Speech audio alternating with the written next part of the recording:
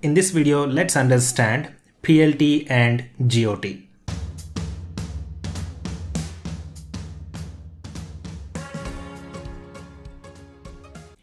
PLT stands for Procedure Linkage Table and GOT stands for Global Offset Table. When we call functions like printf from libc, they are dynamically linked to our binary and then executed. Remember, this is not true for binaries that are statically linked. When functions from shared libraries like libc are called, a call to a piece of code in procedure linkage table is made. This will in turn take help of dynamic linker which will search through libc library for the address of our printf function and it will add an entry in global offset table with the address of the function invoked. Once the address is resolved, it will get executed and the control will be transferred to the saved return address. When the same function is called for the next time in the code, the address stored in the global offset table will be used instead of invoking dynamic linker to resolve the function address again. So as you can see here on the picture, the PLT stub code is not taking the help of this dynamic linker anymore to get the address of printf function from libc. Instead, it is directly using the entry that is available in global offset table. So to summarize, PLT is just a stub code which is going to invoke this dynamic linker to resolve the addresses of the functions that are being invoked from libc. Once it resolves the address, the address is going to be updated in global offset table. If the same function is invoked for the next time, instead of resolving the address once again, the address will be picked from the global offset table. This is how procedure linkage table and global offset table works. I have left some low level details during this explanation, but I think this should be enough for now to understand what PLT and GOT are.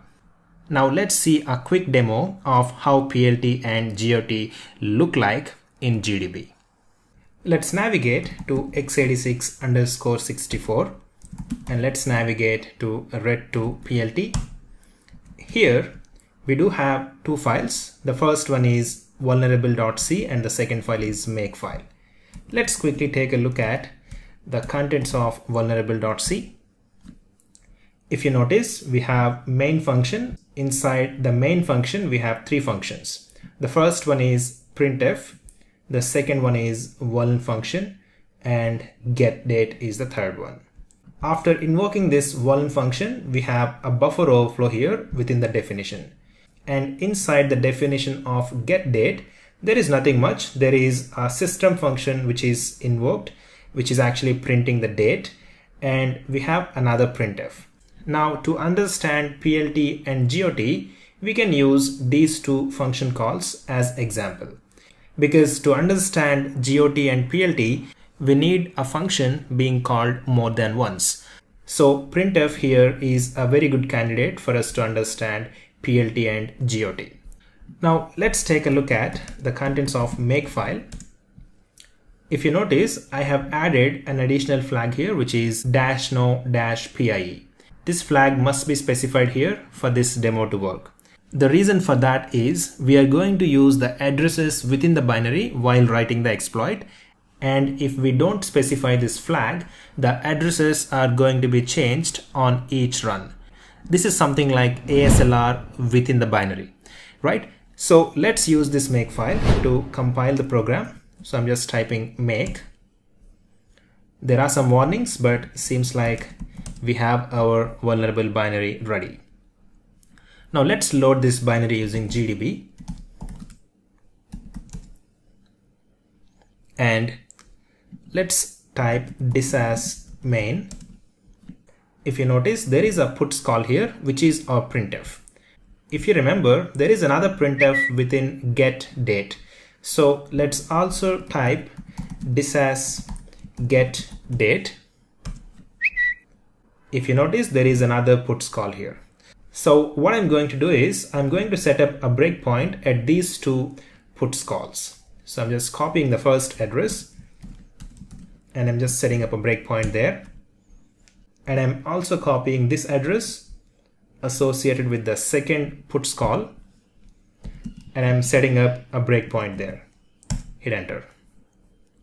Now let's run the binary using the command run. And if you notice, the first breakpoint is hit, which is at the call to puts function. Now let's observe where the control is being redirected to. This is where the control is being redirected to. We are being redirected to execute some instructions in PLT section. Immediately after that, there is a jump instruction to puts at got.plt. So after landing in this PLT section, we are making another jump to this section, which is got.plt. Now let's keep executing SI instruction. So we have taken a jump and we have taken another jump. If you notice our execution now is landed in this section. Now we don't know what this section is. We don't know where we are. So let's quickly take the output of vmmap and let's try to understand which program in memory these addresses belong to. So FE7A E0 and if you notice this is what the address belongs to. What it means is these addresses belong to this LD library which is the dynamic linker or loader. This program is going to find out the address of puts function from libc and global offset table will be updated with an entry. This entire process is called lazy binding. In a nutshell, this dynamic linker or loader does all the heavy lifting in the background and finds the correct addresses of functions in other shared libraries even when ASLR is on and dynamically links it to executable via the global offset table. So when the puts function is executed for the next time, the address will be readily available in the global offset table. Now let's type C to continue our execution. Let's enter something. Now we hit the second breakpoint. You can see here we are about to call the puts function and we also have another instruction which is taking a jump to this got.plt section. Now let's type SI and observe if we land on the dynamic linker section once again. I'm just typing SI.